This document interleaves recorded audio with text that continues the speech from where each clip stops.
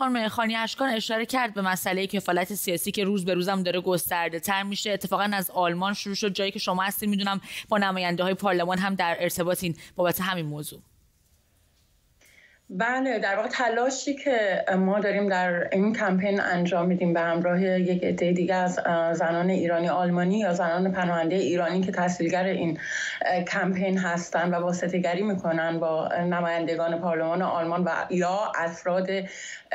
سیاسی تاثیرگذار آلمانی که این کفالت رو به عهده بگیرن در درجه اول همین بود. یعنی ما اصراری که داریم اینه که رنج انسان ایرانی در این شرایط و در این بره انقلاب که جمهوری اسلامی می‌خواد با اعدام ها در واقع انقلاب رو متوقف بکنه تبدیل به رنج و دغدغه افکار عمومی آلمانی بشه و بدون واسطه یعنی بدون واسطه نمایندگان سیاسی پارلمان در جریان این اعدام ها در جریان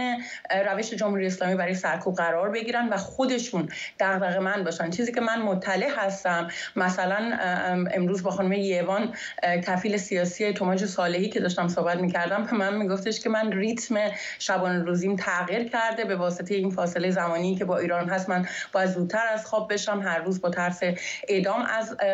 خواب بیدار میشم و می‌گفت به من که این فقط من نیستم من در راهرو پارلمان آلمان که رد میشم می‌بینم که کفیل ها کسانی که این کفالت ها رو به عهده گرفتن دارن صحبت می‌کنن در مورد در واقع موکلان